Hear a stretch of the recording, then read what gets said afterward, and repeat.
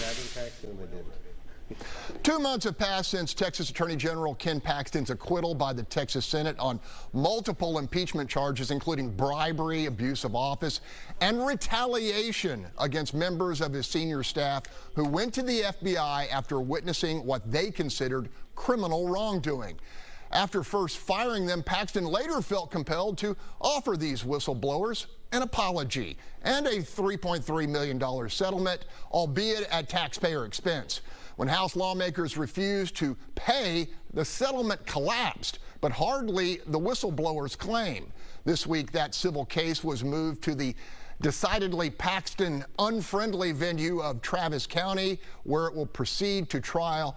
Panel, based upon the law and the evidence we've already heard, I'm told odds are against the Attorney General prevailing. Thank goodness we have a legal expert here. Gary Polland. Uh, yeah, that's, uh, if I was uh, representing Attorney General Paxton in Travis County, it's not the venue I would like. I'd probably file a motion to change venue because I don't think he's going to get a favorable jury there.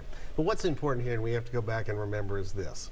The whistleblowers at the Attorney General's office are not liberal Democrats. They are conservative yep. Republicans, some yep. really super conservatives mm -hmm. who decided that conduct by Attorney General Paxton was beyond the pale. So were they whistleblowers? Well, we'll see what a jury thinks, but uh, I like the odds for the whistleblowers to get a judgment against Ken Paxton. Okay, under the category transparency and sunlight, you know, another legal proceeding. Holly?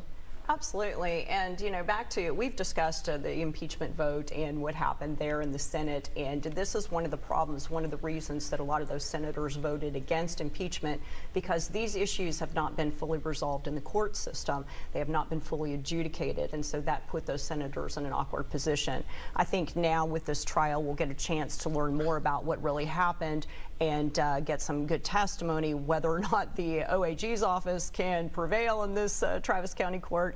V seems unlikely, but uh, I'm sure there's going to be appeals, and we're going to be talking about this on many more shows to come. Marcus Davis, spring-loaded to comment. 30 uh, seconds. No, I just, I'm just grateful that there's a real court where a real trial will be held, other than that faux trial that happened in the Texas legislature that was lopsided from the get-go. The fix was in, and I hope the fix isn't in on this one. I hope justice is served. All right, Tamara Bell.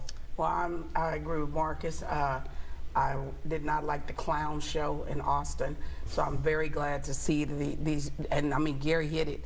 These are conservative people that he handpicked because you couldn't come work for him unless he approved you. So this is not like it was a bunch of Democrats in there. These are his people who said, okay, there's a limit. So I'm hoping Travis County get them. All right, Paul, uh, how about this? Sometimes justice delayed is not denied. Do you think there is a possibility that uh, Paxton gets what's coming to him? Yes, I want to trust the system here. So we sit here and talk about it being a Travis County court. What about this? These are Texans, right? And we've asked a group of Texans yet to be determined to sit be impaneled and listen to the facts. And if we can't trust them simply because of who they vote for, mm. then can we trust our neighbors? Um, I trust my neighbors, and I think in this case, our neighbors are going to come together, hear the facts, and make a determination. And I'm and I'm thankful for that. Hey, if you had to pick one side to defend for a paycheck, which one would you defend? Uh, probably Attorney General because he has those billionaires who can back him up with a lot of money. That's why it's a good Gary about the money. Gary about the money. Show me the money. All right, we're going to